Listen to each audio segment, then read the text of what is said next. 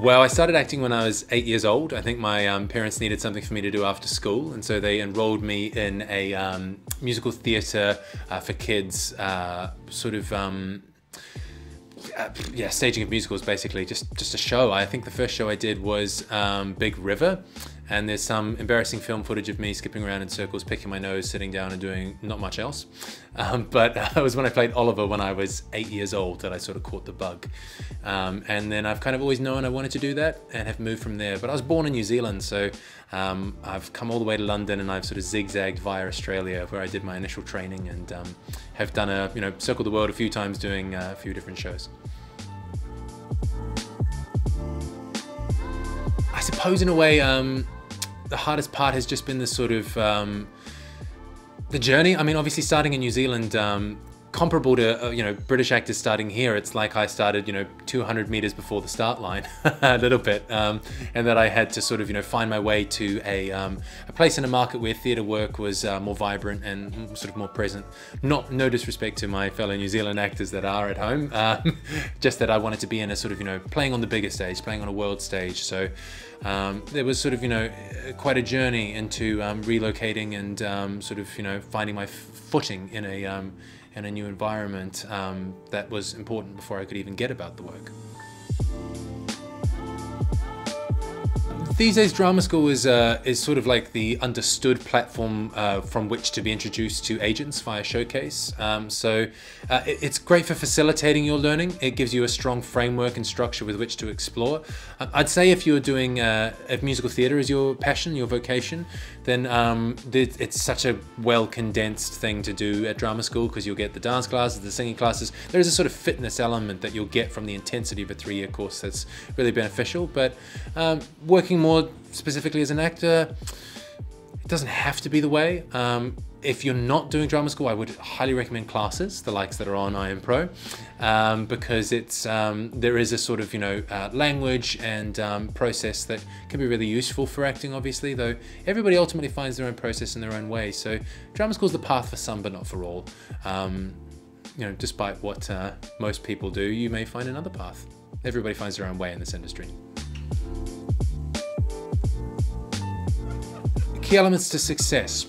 That's a big question. I would say that um, finding what you do well is really important. So what is your casting? What do people want to see you do? And um, how can you maximize your ability to do that? Um, that will be the most important thing to getting a foothold. I think a lot of young actors think that they want to be, you know, want to characterize, they want to do amazing, you know, they want to do everything. They think that it's within them to play all roles. And heck, a lot of that might be true, but you've got to kind of find that which you uh, that that people see in you, from which you can sort of find the different permutations and different characterization potential. Um, so so find what you can offer. Um, if you can stumble upon that, then you know away you'll go. The truth about making it is there's really no definitive moment, I think, uh, that you'll know you've made it. Um, you'll forever, I mean, if you're anything like me, there's always, um, there's always higher benchmarks, there's always more you can do. Um, so I think an important thing to remember about making it is to actually just take stock of that which you've achieved. Uh, as you achieve it, when you achieve it, celebrate your victories. It's, um, it's a bit of a relentless game in that it's, it, it's quite a lot of sort of hard work that, that pays off in these little blips of moments um, as an actor. So really celebrate those moments and uh, acknowledge always that which you've achieved. Um, making it comes in phases. So um, it's going to be a case of sort of, you know, uh, enjoying each moment as it comes and then there's more and then there's more. Always protect your sense of joy and your sense of play and fun about what you do.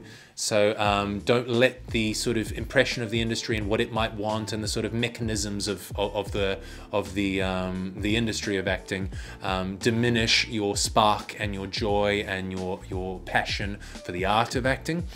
Um, so uh, stay connected to that um, be an amateur always effectively understand your the, the, joy that brought you to performance um, uh, what else? What would be the pitfalls? What would I say to a young Ryan? Mm. I think young Ryan needs to know not to worry so much. Young Ryan needs to know to um, to learn that it's a process and that you can't be perfect. There is no such thing as perfection. I mean, Ryan to this day, to speak of myself in the third person, is a recovering perfectionist. Um, there is no such thing as perfect as an actor. There's just choices and better choices and a myriad of options and, and interpretations. So, so that sort of relentlessness, I think, of, of my, my appetite as a young actor made me quite hard on myself. Um, and I would strongly recommend being a bit more forgiving with yourself and knowing that wherever you're at and whatever you have at this moment is what you'll be cast for. Um, and so, not to worry about that which you're not, um, and to know that, you know, things come with time. You mature as an actor. Um, I will be a better actor in 10 years than I am now as I sort of grow through my experience, and um, that's okay. A bit of acceptance and a bit of sort of um, self congratulation, I think young Ryan could appreciate.